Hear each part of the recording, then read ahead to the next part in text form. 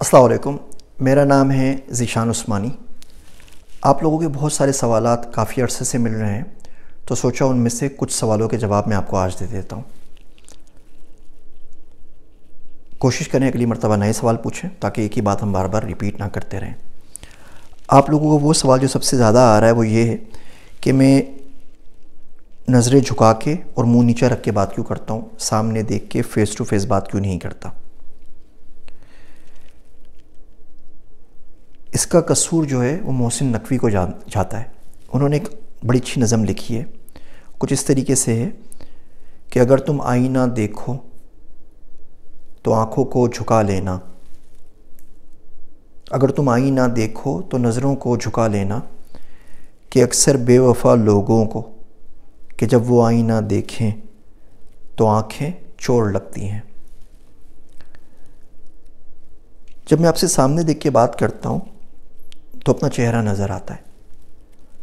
जब अपना चेहरा नज़र आता है तो अपने गुनाहों का ख्याल आता है। और फिर बड़ी इसराब की कैफियत होती है कि मैं कहाँ पर हूँ और आप लोग कहाँ पर हैं। और मैं आप लोगों से कोई बात कर रहा हूँ और आप, आप लोग सुन रहे हैं। और कहीं से भी इस काबिल नहीं हूँ कि मैं कुछ कहूँ और आप सुने या कोई भी सुने मेरी बात को। तो अफसोस होता है दर्द होता है, उस दर्द की वजह से रोना आता है। जब आँख में आँसू आते हैं तो बजाय इसके कि आप मेरी कैफियत को समझें, आप लोग समझते हैं कि बहुत ही कोई नेक बंदा है, अल्लाह का ज़िक्र करता है तो आँख में आँसू आ गए। तो और उल्टा मतलब निकल आता है। तो आँख मिला के बात करना बड़ा मुश्किल काम है। ये काम वो शख्स करे, जिसकी कमर बिस्तर की गर्मी को तरसी हुई हो। जो रात बैठ के उम्मत के लिए दुआएँ मांग सके। मेरे जैसे बंदों को नज़र झुका के चलना चाहिए, नज़र झुका के बात करनी चाहिए और सामने देखने की हिम्मत करनी नहीं चाहिए। मैं आपको एक वाक़ सुनाता हूँ। बंदा होता है, उसका नाम होता है कुंदन। वो अलग अलग के ना ढोंग भाँग रचाता है। और लोग उसको पहचान नहीं पाते कि वही बंदा है उतना ज़बरदस्त गेटअप चेंज करता है। एक बादशाह के पास जाता है तो बादशाह बोलता है, इस फजूलियात से मेरा कोई ताल्लुक़ नहीं है। तो बादशाह को चैलेंज कर देता है, बोलता है, ठीक है, मैं ऐसा सवांग रचा कर आऊँगा कि आप मुझे पहचान नहीं सकेंगे। और अगर आपने मुझे पहचान लिया तो आप मुझे सज़ा दे दीजिएगा। और नहीं पहचान पाए तो आपको मुझे मुँह मांगी कीमत देनी पड़ेगी। बादशाह बोलता है, ठीक है, लेकिन अगर मैंने तुझे पहचान लिया ना तो तेरी गर्दन तलवार से उड़ा दूँगा। बोलता है, ठीक है। और बादशाह चैलेंज तो कर कर आ गया बादशाह को, लेकिन बड़ा परेशान हुआ, क्या क्या करे, क्या ना करे। खैर, उसने ढोंग रचाया, सवांग भरा एक अल्लाह वाले बुज़ुर्ग का। दाढ़ी बढ़ा ली, हाथ में तस्बी पहन ली, माला जपता रहता था। अब ज़्यादा पता काम करना है तो उसने नमाज़ें भी पढ़ना शुरू कर दी, अल्लाह का ज़िक्र भी शुरू कर दिया और जाके कोने में बैठ गया। उस जगह के ऊपर बादशाह हर साल आया करता था जंग करने के लिए। उसको फ़तह नहीं होती थी तो उसको पता था बादशाह साल बाद यहाँ पर ज़रूर आएगा। बादशाह हर साल की तरह वहाँ पर गया। जंग में उसको नाकामी हुई। किसी ने बता दिया कि बड़े बुज़ुर्ग आप इनके पास चले जाओ। वो उनके पास जाता है।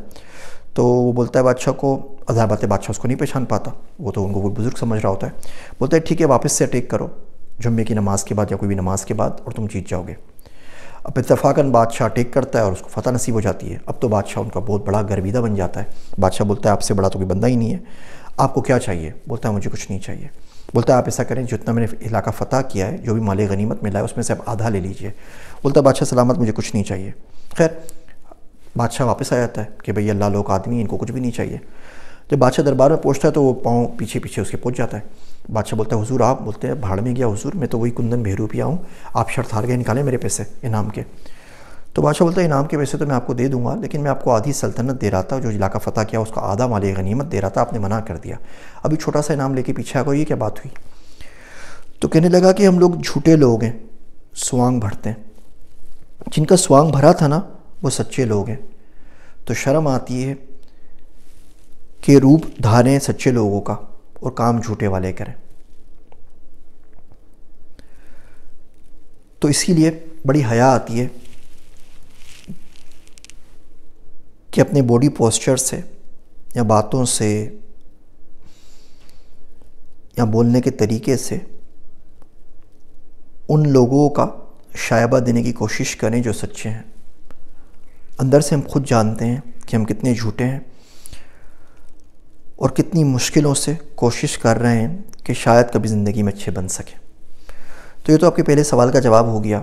अगर आप चाहते हैं कि किसी ऐसे शख्स को फॉलो करें जो आँखों में आँखें डाल के, सामने देख के बात कर सके। तो भाई वो मैं तो नहीं हूँ। और लगता नहीं है ज़िंदगी में कभी इतनी हिम्मत आएगी कि ये काम कर सकूँ। तो आप किसी और अच्छे आदमी को फॉलो करें जिसमें इतनी हिम्मत हो। मेरे में तो इतनी हिम्मत है नहीं। दूसरा सवाल कि मैं लाइव सेशंस नहीं करता। ये पहले से रिलेटेड है। लाइव सेशंस करने के लिए बहुत ज़्यादा तकवा चाहिए। और समझ में नहीं आती कि इतना तकवा लाऊं कहाँ से। लाइव सेशन में बहुत सारे सवाल होते हैं और जो साहब होते हैं, उनके पास तकरीबन तकरीबन हर साल का सवाल का जवाब होता है। मेरे पास तो बहुत सारे अपने सवाल हैं, उनका जवाब नहीं है तो मैं आपका जवाब कहाँ से दूँगा? आपसे बात करने बैठता हूँ तो यकीन जानिए कोई टॉपिक कोई नोट्स कुछ सामने नहीं होता। बस दिल चाहता है बात करूँ। जब मैं वीडियो बना के बोलता हूँ, आज का हमारा टॉपिक है तब तक मुझे टॉपिक नहीं पता होता। फिर जो दिमाग में टॉपिक आता है, बस वो टॉपिक बन जाता है। फिर जो बात समझ में आती है, वो मैं आपसे कर लेता हूँ। छोटी सी मुख्तर बात और फिर उसको ख़त्म कर देता हूँ। अब लाइव सेशंस के लिए इतनी तैयारी करना, इतना तकवा लेकर आना, वो मेरे पास तो अभी है नहीं। जब ज़िंदगी में कभी आ गया तो शायद कोई लाइव सेशन कर लूँ।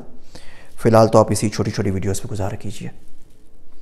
अगला सवाल कि मैं मीटअप क्यों नहीं करता? भी पाकिस्तान आया बहुत से लोगों ने रिक्वेस्ट की मीटअप करें। तो भाइयों, मैंने मीटअप से तोबा कर ली है।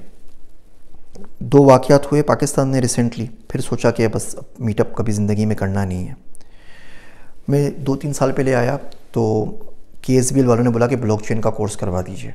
तो मैंने कोर्स करवाया, वहाँ पे कोर्स की फ़ीस थी पच्चीस हज़ार रुपये अस्सी से ऊपर लोग आए, सारे इंडस्ट्री के थे प्रोफेसर साहब थे, और बड़ा अच्छा वो चार पाँच घंटे का सेशन था, और लोगों ने उसके पैसे भी भरे।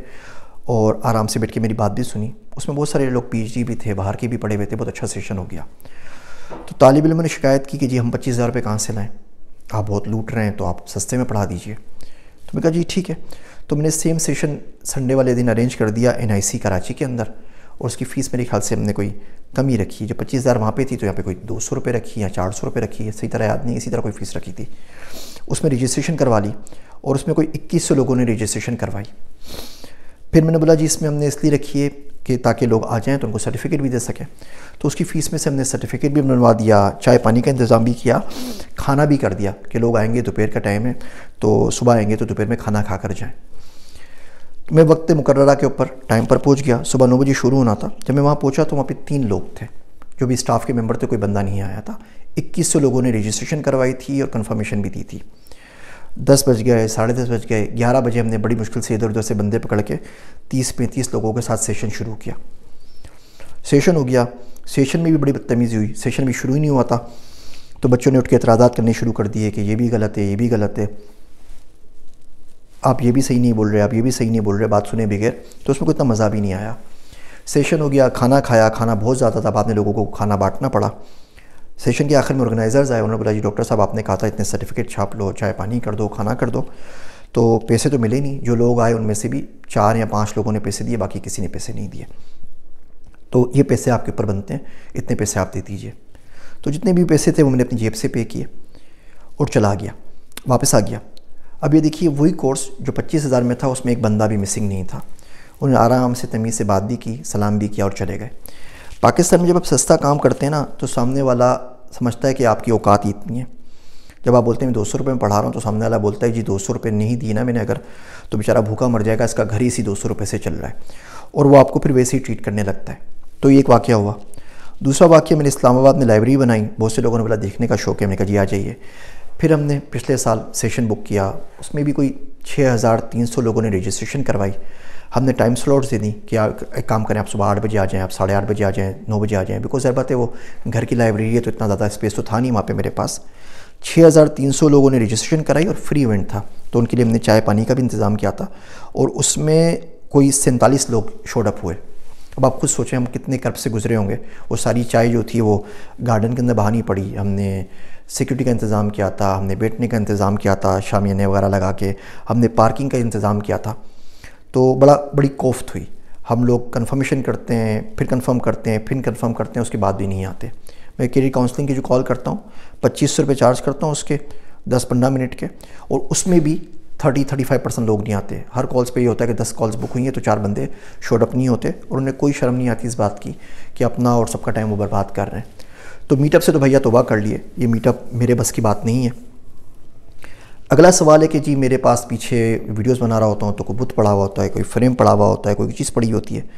आपको बता चुका हूँ मेरी ट्रेवलिंग ज़्यादा है। अगर मैं किसी होटल के कमरे से वीडियो बना रहा हूँ तो ज़्यादा बात है मैं होटल की दीवारों से उनकी पेंटिंग्स तो नहीं उतार सकता ना। तो तरीका ये है कि या तो मैं वीडियोज़ ना बनाऊँ। आप बता दीजिए बेहतर है कि जब मैं सिर्फ़ घर पर हूँ, तभी वीडियो बनाऊँ, उसके बिना बात ना बनाऊँ। और ऐसा साल में बहुत कम होता है। शायद दो हफ़्ते होंगे जब मैं घर पर होता हूँ तो फिर तो वीडियोज़ नहीं बन सकेंगी। घर के अंदर लाइब्रेरी के अंदर जो बुत वगैरह हैं, उसका होगा कोई ना कोई रीज़न आप जिस, आप सही कह रहे हैं, मैं गलत हूँ, मैं उसको हटा लूँगा वहाँ से। लेकिन जो का, बात कही जा रही है ना, आप उसके ऊपर फोकस करें। अब ये क्यों फोकस करते हैं कि पीछे क्या नज़र आ रहा है? किताब कौन सी पड़ी हुई है? केक रस का डब्बा पड़ा हुआ या नहीं पड़ा हुआ? पीछे कौन सा बंदा आ रहा है और जा रहा है? कैमरे के शीशे में कौन नज़र आ रहा है? इन चीज़ों से बाहर निकली ना, जो बात कही जा रही है, वो सुन लीजिए। आपके लिए भी आसानी है, मेरे लिए भी आसानी है। और आखिरी सवाल लोकेशन क्यों चेंज होती है? कभी आप वारसा में होते हैं, कभी आप इस्लामाबाद में होते हैं। देखिए, मैं जहाँ पे वीडियो बनाता हूँ ना, उसकी लोकेशन मिसाल के तौर पे अभी मैं मायामी के अंदर हूँ तो जब मैं वीडियो अपलोड करूँगा तो उसमें मायामी की लोकेशन आ रही होगी।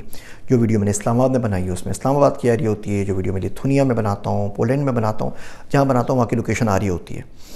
और मैं अपने मोबाइल से अपलोड करता हूँ तो मोबाइल में ऑटोमेटिकली लोकेशन वहाँ से पिक कर लेता है, जहाँ की लोकेशन आ रही है। आपको लोकेशन से ज़्यादा परेशानी हो रही है तो मैं लोकेशन को ऑफ़ कर देता हूँ।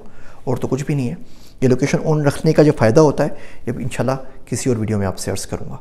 अभी वीडियो लंबी हो गई है। यहाँ पर अख्ताम करते हैं। उम्मीद है कुछ सवालों के आपको जवाब मिल गए होंगे। और कोई सवाल है तो आप यहाँ पे कमेंट्स में उससे पूछ लीजिए। मैं ऐसी वीडियोस बना बना के जितनों के मुझे जवाब आएँगे, वो आपको दे सकूँगा इन ताला। मेरी बातें सुनने का शुक्रिया। मेरे वास्ते दुआ कीजिएगा। मैं हूँ आप सबका ज़िशान उस्मानी।